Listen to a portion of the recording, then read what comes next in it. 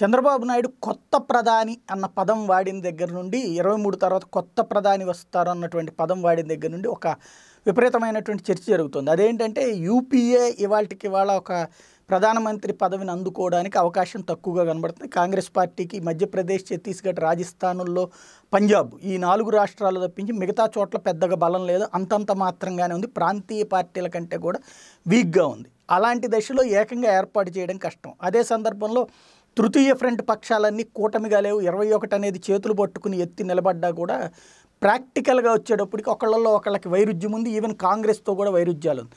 అదే సందర్భంలో బీజేపీకి అంత శక్తివంతంగా వస్తుందన్నటువంటి నమ్మకం కనిపించినటువంటి పరిస్థితి ఎన్డీఏకి కూడా పూర్తి బలం వస్తుందన్నటువంటి నమ్మకం కనిపించినటువంటి పరిస్థితి. అయితే కాంగ్రెస్ కంటే కూడా ఎక్కువ సీట్లు వస్తాయి అనేటువంటిది మాత్రం వినబడుతున్నటువంటి మాట. అయితే మోడీ అమిత్ షాల నేతృత్వంలో పార్టీ నడిచినంత వరకు కూడా యువతలు ఉన్నటువంటి పార్టీలు ఏవైతే ఈ తృతీయ ఫ్రంట్ భాగస్వామి పక్షాలు ఇరవై ఒకటిలో ఉన్నటువంటి కొంతమంది వాళ్ళకి మద్దతు ఇవ్వాలన్నా కూడా ఇవ్వలేని పరిస్థితి వీళ్ళు కూడా వాళ్ళని కలుపుకోలేరు అన్నటువంటి ప్రచారం నేపథ్యంలో చంద్రబాబు నాయుడు లేదా చంద్రబాబు అనుకూల మీడియా ప్రొజెక్ట్ చేస్తున్నటువంటి తరహాలో ఒకవేళ గనక రెండు వందల లోపు నూట ఎనభై నూట యాభై దగ్గర బీజేపీ ఆగిపోయి ఎన్డీఏ రెండు వందలు రెండు వందల ఇరవై దగ్గర ఆగిపోతే ఈ కాంగ్రెస్ ఇంకా అంతకంటే తక్కువ ఉండి యూపీఏ అంతకంటే తక్కువ ఉంటుంది కాబట్టి ఆ సిచ్యుయేషన్లో ఒక వంద నూట ఇరవై దాకా అవసరం అవుతాయి కాబట్టి అవి తీసుకొచ్చేటువంటి బాధ్యత ప్రస్తుతం ఉన్నటువంటి వాళ్ళలో కొంతమందిని కలిపే బాధ్యతని చంద్రబాబు నాయుడు తీసుకుంటారు. అది ఎప్పుడు అంటే మోడీ అమిత్ షాలని పక్కన పెట్టి మరొక ప్రధాన అభ్యర్థిని ప్రకటిస్తే అది గడ్కరీ అనేటువంటిది మొన్నటిదాకా ప్రచారం చేశారు. అయితే గడ్కరీ చాలా క్లియర్గా చెప్పేశారు. ఆర్ఎస్ఎస్ కూడా చాలా క్లియర్గా చెప్పేసేసింది. గడ్కరీ నేను ప్రధానమంత్రి అభ్యర్థిని కాదని. ఇక్కడ గడ్కరీ కంటే కూడా వెంకయ్య నాయుడిని ప్రధానమంత్రిని చేయడం అనేటువంటి కోణంలోనే చంద్రబాబు నాయుడు మాట్లాడారన్నది కొన్ని మీడియా సంస్థల్లో వస్తున్నటువంటి వార్తలు.